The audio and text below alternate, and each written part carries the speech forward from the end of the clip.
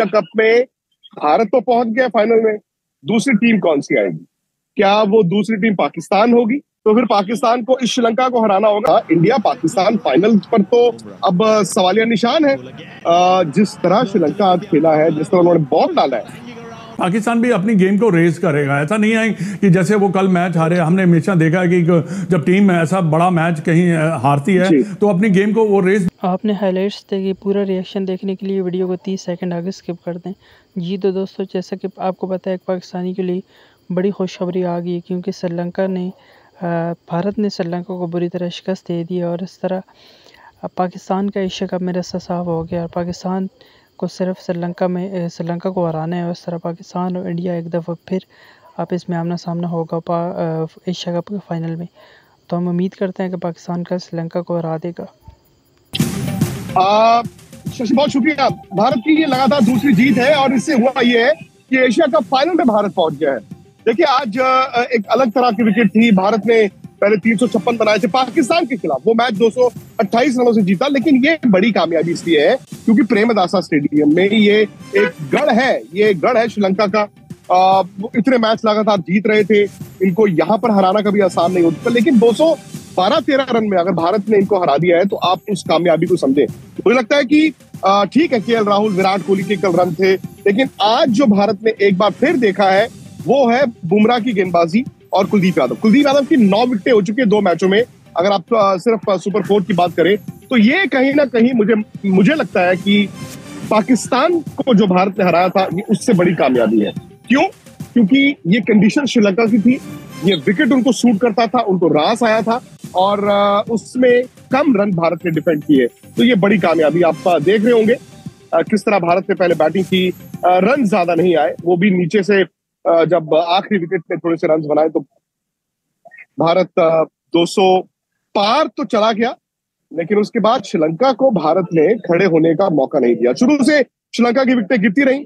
आ, मैं आपको बता देता हूँ श्रीलंका की जो स्कोर्स थी क्योंकि शुरू से ही श्रीलंका की विकेटें गिर रही थी।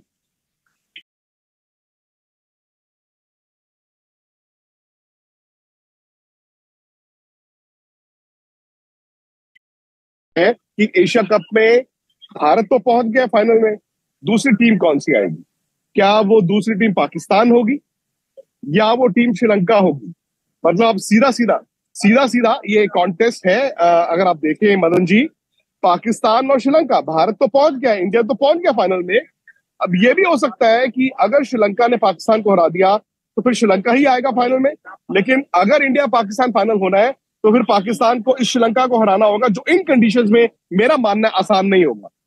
इतना आसान भी नहीं होगा क्योंकि जैसे आज श्रीलंका ने क्रिकेट खेली है और उन्होंने देखिए उन्होंने फाइट किया है और उन्होंने जो विकेट है उसको काफ़ी अच्छा यूज़ किया मैं ये आज एक बात ज़रूर बताना चाहूँगा कि ये आज के दिन हमारे जो भारतीय दर्शक उन, उनको वलेगे का नाम ज़रूर याद रहेगा कि जैसे उन्होंने परफॉर्मेंस की है और जैसे उन्होंने इस मैच को हैंडल किया है प्रेशर को हैंडल किया है मैं समझता हूँ कि आने वाले समय में ट्वेंटी ईयर ओल्ड जैसे उसने, उसने गेम चलाई है मैं समझता हूँ कि एक बहुत ही श्रीलंका के लिए बहुत अच्छी खबर है बट इंडिया जो फाइनल में पहुँचा मैं समझता हूँ कि थोड़ा सा ये स्केरी थोड़ा सा स्केयर ज़रूर आया था।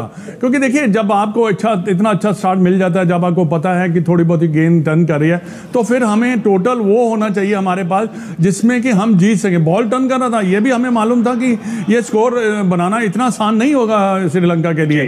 बट उन्होंने स्केर आप इंडिया इंडियन इंडियन टीम को अंडर प्रेशर ज़रूर डाला है। आई थिंक एक और बात मैं मैं वही कह रहा हूँ मदन जी कि कहीं ना कहीं आपको ये मानना पड़ेगा जहाँ पर आप शायद उतने रन बोर्ड पर नहीं लगाते तो उसमें जाके इकतालीस रन से जीता मेरा ये मानना है कि ये बड़ी कामयाबी है। क्यों?